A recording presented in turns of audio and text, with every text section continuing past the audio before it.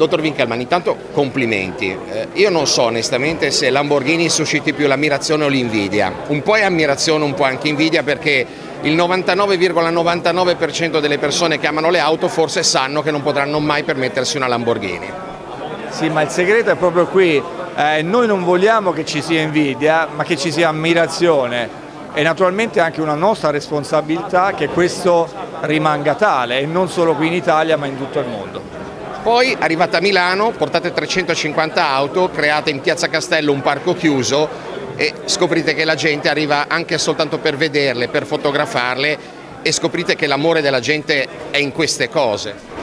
Sì, noi lo sappiamo perché guidando le Lamborghini diciamo, a livello quotidiano sappiamo quanta voglia c'è delle persone di vederle, di fotografarle, di toccarle, di fare domande sulla storia e sul modello che stai portando o guidando. E naturalmente 350 vetture tutte in un posto è qualcosa di eccezionale che non c'è mai stato prima e contiamo che è un poco più dell'1% della produzione globale degli ultimi 50 anni della Lamborghini, per cui un evento per noi unico fino adesso. Non è un momento facile, non è un momento bello, non è un momento buono. Ora lei ci deve spiegare come fate a mantenere a questo livello così alto e a venderlo un business così eccezionale ma anche così straordinariamente costoso, perché qua non si tratta di vendere un'utilitaria, è molto di più.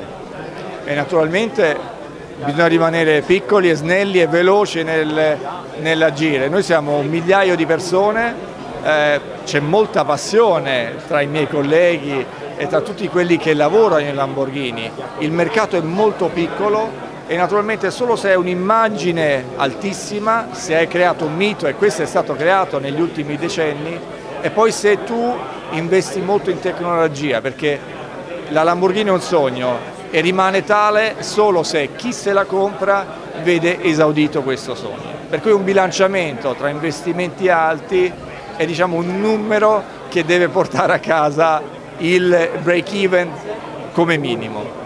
Eh, Eurosport ama Lamborghini, non è un segreto, siete parte della nostra famiglia che è una grande famiglia di sport motoristici.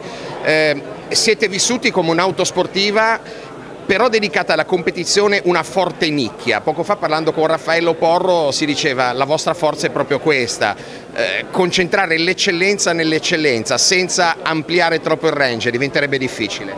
Sì, è vero, anche se quest'anno abbiamo il coinvolgimento più alto nel motorsport. Facciamo i monomarca che sono per gentleman's drivers, abbiamo da 5 anni ormai un monomarca qui in Europa, siamo nel secondo anno in Asia e per la prima volta partiremo anche in Nord America. Stiamo entrando sempre di più nel GT3 e noi pensiamo che le nostre vetture già da ferme, già come escono dalla fabbrica per uso stradale, molto spesso sono più da corsa che tutte quelle che si vedono in pista.